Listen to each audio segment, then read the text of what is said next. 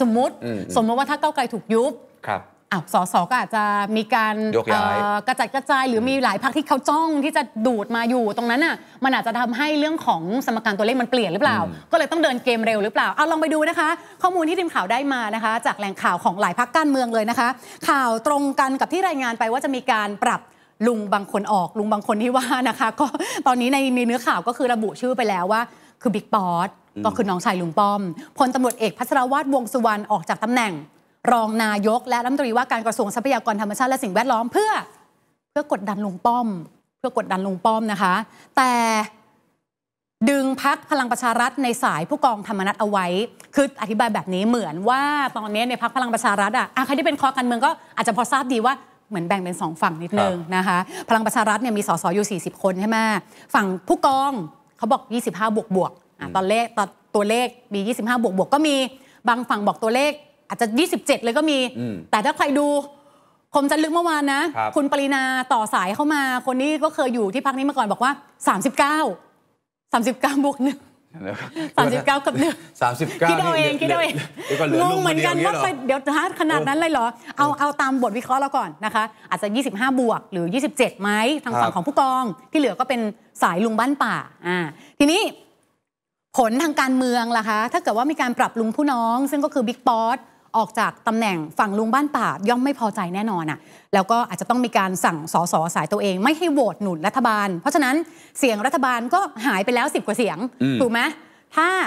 พลังประชารัฐ40 ฝั่งผู้กองสมมติอ่า27 อีก 10 กว่าครับคือสายลุงอืมเพราะฉะนั้นสายลุงถ้าไม่พอใจก็สั่งไม่โหวตเสียงหายเสียงหายทำไงเติมสิ ฝั่งรัฐบาลก็ต้องไปเติมเข้ามา ทีมเพื่อไทยจึงมีการประสานดึง ประชาธิปัตย์เข้าร่วมรัฐบาลแทนค่ะ โดยเป็นประชาธิปัตย์กลุ่ม 21 เสียงนะคะ ซึ่งก็จะไม่รวม 4 คนที่เคยได้ยินข่าวมาก่อนหน้านี้แล้วก็เงียบไปเนี่ย คือประชาธิปัตย์เนี่ยมี 25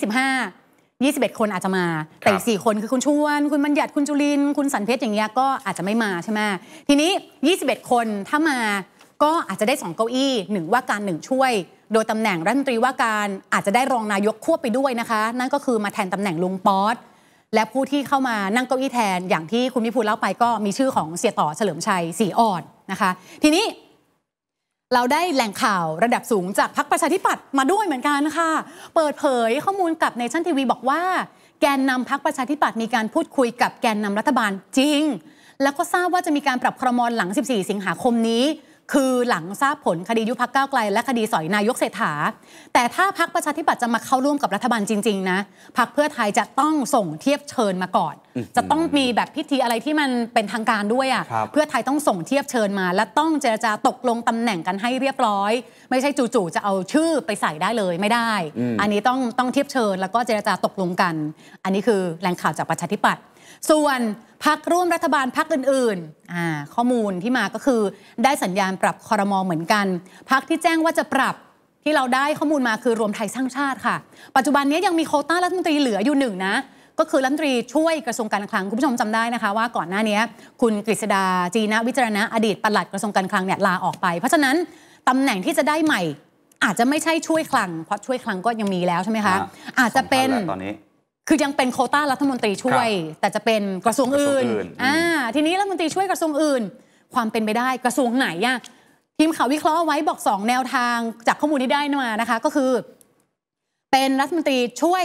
ว่าการกระทรวงกลาโหมอันค่ะนี้โผเดิมใช่ไหมเนี่ยใช่อันนี้ตามโผเดิมที่เคยเป็นข่าวนะคะอืมแต่ว่าโผเนี้ยสถานการณ์มันเปลี่ยนเหมือนกันครับนะคะ ก็คือว่าโผเดิมเนี่ยจะมีการส่งบิ๊กเล็ก พลเอกนัทพลนาคพาณิชย์อดีตเลขาธิการสมชเข้ามาเป็นรัฐมนตรีช่วยกระทรวงกลาโหม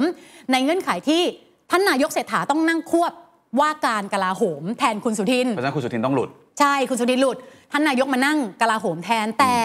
กลายเป็นว่าบิ๊กทินเนี่ยได้อยู่ต่อนะคะเก้าอี้ของบิ๊กทินยังปึกอยู่เนื่องจากเขาบอกว่าบิ๊กทินมานั่งเนี่ยว่าการกลาโหม ได้ใจกองทัพเหมือนกองทัพชอบเหมือนกันอืมเออเพราะฉะนั้นเนี่ยความจำเป็นของการมีตำแหน่งรัฐมนตรีช่วยกลาโหมที่เป็นทหาร ไม่จำเป็นเท่าไหร่แล้ว อาจจะไม่มีแล้ว อาจจะไม่น่ามีแล้วนะคะ แล้วแกนนำพรรคเพื่อไทยก็ไม่อยากให้มีฉะนั้นโควต้ารัฐมนตรีช่วยของรวมไทยสร้างชาติจึงน่าจะเป็นกระทรวงอื่นหนึ่งในรายชื่อแคนดิเดตก็คือ คุณธนกรวังบุญคงชนะค่ะโอ้โหรองหัวหน้าพรรครวมไทยสร้างชาติ อาจจะได้กลับมา จากการสนับสนุนจากลุงน้องเล็ก นี่มีชื่อกลับมานะ คุณธนกรคือต้อนะงยอมรับจริง ๆ ว่า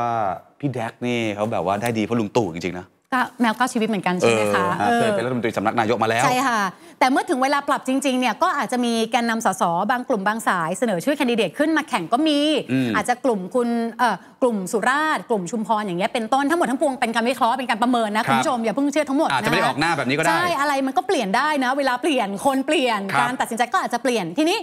รวมไทยสร้างชาติยังมีแนวโน้มปรับคลมออีกหนึ่งตำแหน่งด้วยค่ะ นั่นก็คือรัฐมนตรีว่าการกระทรวงอุตสาหกรรม เพราะมีข่าวว่า คุณขิงอะคุณขิงเอกนัทพร้อมพันธ์ตอนนี้เป็นเลขาธิการของรวมไทยสร้างชาติกำลังเตรียมแต่งตัวเข้าไปนั่งแทนด้วย เพราะว่าพ้นเรื่องคดีกปปสไปแล้วใช่ไหมแล้วไปประจวบเหมาะตอนนี้คนที่เป็นว่าการอยู่ก็คือคุณปุ้ยพิมพัทราวิชัยกุลครับซึ่งก็นั่งตำแหน่งมาครบหนึ่งปีพอดีอ๋อเลยสลับสลับกันบ้าง ก็อาจจะแบบสมบัติผัดกันชมคุณนี่เหรอขิงคดีหมดเอออ่อ่าแล้วก็คุณปุ้ยอาจจะครบหนึ่งปีแล้วก็สลับกันไหม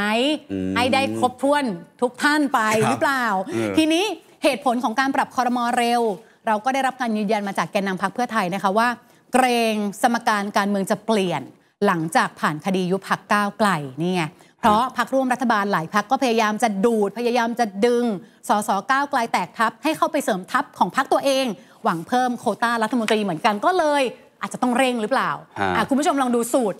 ครับสูตรของทีมข่าวเนชั่นแล้วกันนะคะรัด้านฐขวาบาลรวมชาติ ด้านขวาก็คือปัจจุบันใช่ไหมรัฐบาลมี 314 แล้วถ้าทั้งหมดทั้งปวงที่เราวิเคราะห์มาเนี่ย มันก็จะออกมาเป็นตัวเลขเนี้ค่ะ ประมาณ 3 2 3 3 2 2 ประมาณนี้อ่าก็คือว่าบางส่วนของพลังประชารัฐออกไป ประชาธิปัตย์บางส่วนเข้ามาแทนแต่เอาตรงๆนะ ต่อให้ไม่ได้เป็นการรวมชาติ แล้วเสียงบางส่วนของพลังประชารัฐออกไป ก็ยังระดับ 300 เสียงอยู่นะ ก็เยอะอยู่ดีก็ยังเยอะะอยู่นะ